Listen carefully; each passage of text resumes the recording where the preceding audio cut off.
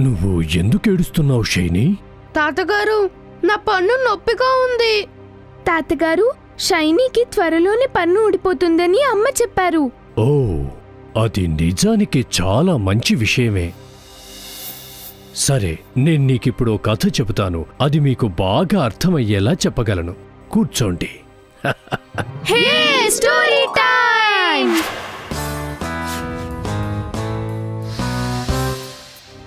Scaly అనేది ఒక చిన్న పాంపిల్ల. అది అడవిలో స్వేచ్ఛగా నివసించేది. సరిగ్గా మీ ఇద్దరిలాగానే అది చాలా అల్లరి చేసేది.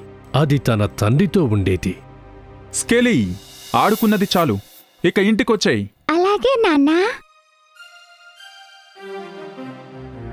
అలా ఒక రోజు స్కేలి చాలా అలసిపోయినట్టు కనిపించింది. నువ్వీరోజు ఎందుకంత దిగులుగా ఉన్నావు స్కేలీ? ఎందుకు నాకు కూడా తెలియదు నాన్న కానీ నా ఒళ్ళంతా చాలా దురదగా ఉంది. స్కేలీ నువ్వు నీ శరీరాన్ని శుభ్రంగానే ఉంచుకుంటున్నావా? అవును నాన్న నేను రోజుకి రెండు సార్లు మట్టిలో దొర్లుతున్నాను అయినా సరే. మరుసటి రోజుకు పరిస్థితి ఇంకా దారుణంగా తయారైంది.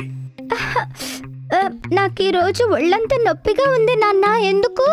నాకు తెలియట్లేదు. హ్మ్, నాకు తెలిసి ఏం జరుగుతుందో. నువ్వు పెద్దదానివవుతున్నావు. కానీ ఇది చాలా నొప్పిగా ఉంది. అప్పుడు ఒక రోజు ఏదో చాలా వింత జరిగింది. ఆ, నాన్న నాన్న చూడండి ఏం జరుగుతుందో. నాకు బాగా నొప్పిగా ఉంది. ఏంటి? ఏంటి? నాన్న ఇక్కడ చూడండి. ఓ అదా. నాన్న మీరెందుకు అస్సలు కంగారు పడట్లేదు? నాకు నొప్పిగా ఉంది. నాకు తెలుసు. అక్కడ ఆ రాయిని చూడు. వెళ్ళు. వెళ్ళి నీ మెడని ఆ రాయికి పెట్టి రుద్దుకో.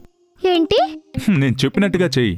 కానీ నాన్న నాకు ఇంకా ఎక్కువ నొప్పి వచ్చే పని నన్ను ఎందుకు చేయమంటున్నారు? స్కేలీ ముందుగా నేనేం చెప్పానో నువ్వు వెళ్ళి అది చెయ్యి. వెంటనే. ఇప్పుడు అర్థమైందా నీకు?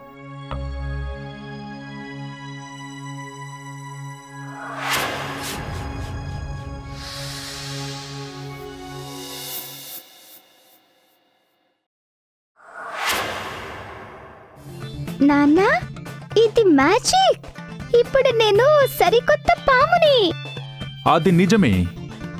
ఇప్పుడు ఏదైతే జరిగిందో అదంతా ఒక మామూలు ప్రక్రియ. మన స్నేక్స్ ఎదుగుదలకి. మనం మన పాత చర్మాన్ని వదిలేస్తాం. కొంచెం నొప్పిగానే ఉంటుంది.